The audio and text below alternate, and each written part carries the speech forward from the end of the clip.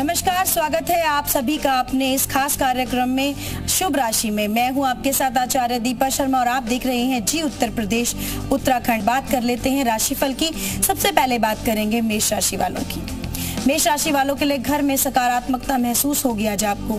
आज आपसे कोई कार्य की उम्मीद मदद की उम्मीद कर सकता है तो उसे निराश ना करें, लव लाइफ आज आपकी अच्छी रहेगी। वृक्ष राशि वालों के लिए मेडिटेशन से मानसिक तनाव दूर होगा। परिवार में किसी का मूड खराब हो सकता है, आप ठीक कर सकते हैं। अगर हल निकालेंगे तो समस्याएँ ज़रूर सुलझ जाएँगी। मिथुन राशि वालों के लिए आज कर्ज से मुक्ति मिल सकती है। आज ऑफ़िस में अपना टैलेंट दिखा सकते हैं। पारिवारिक जिम्मेदारियाँ भी आज के दिन बढ़ सकती हैं। कर्क राशि वालों के लिए निवेश से पैसे का बड़ा लाभ होगा। थोड़ा धैर्य बनाकर काम करेंगे तो दिन अच्छा होगा। आज कोई सपना भी, यानी पुराना देखा हुआ कोई ड्रीम पूरा हो सकता है।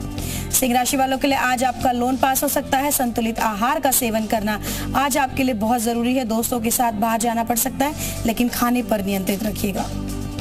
कन्या राशि वालों के लिए किसी मनपसंद स्कीम से आज निवेश कर सकते हैं। आज आपका पैसा मिल जाएगा, आपको वापस घर में सुख शांति बनाए रखने का आज प्रयास कीजिएगा।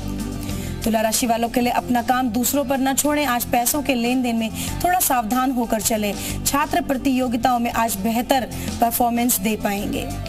वृश्चिक राशि वालों के लिए प्रॉपर्टी डीलरों को आज मुनाफा हो सकता है। जीवन साथी की सलाह लेकर आज काम करेंगे तो किसी काम में भी निराशा नहीं होगी। बाहर जाने से आज के दिन बचेंगे तो अच्छा होगा। धनु राशि वालों के लिए आर्थिक पक्ष मज़बूत होगा। दोस्तों के साथ मूवी या घूमने फिरने देखने, कहीं भी घूमने फिरने जा सकते हैं। छात्रों को सफलता मिलने का आज योग बन रहा है। मकर राशि वालों के लिए ऑफ़िस में ज़्यादा काम करना पड़ सकता है। थोड़े थक सकते हैं। कोर्ट कचहरी के मामले आज सुलझ सकते हैं आपके। साथ ही साथ कारोबार में आज आपको बड़ा लाभ हो सकता है। कुंभ राशि वालों के लिए अचानक धन लाभ हो सकता है। आज के दिन काम में सफलता भी आज आपको मिलेगी। आज कोई गिफ्ट या उपहार या कोई तोहफा भी मिल सकता है। मीन राशि वालों के लिए डिप्रेशन और तनाव आज दूर होगा ऑफ़िस में।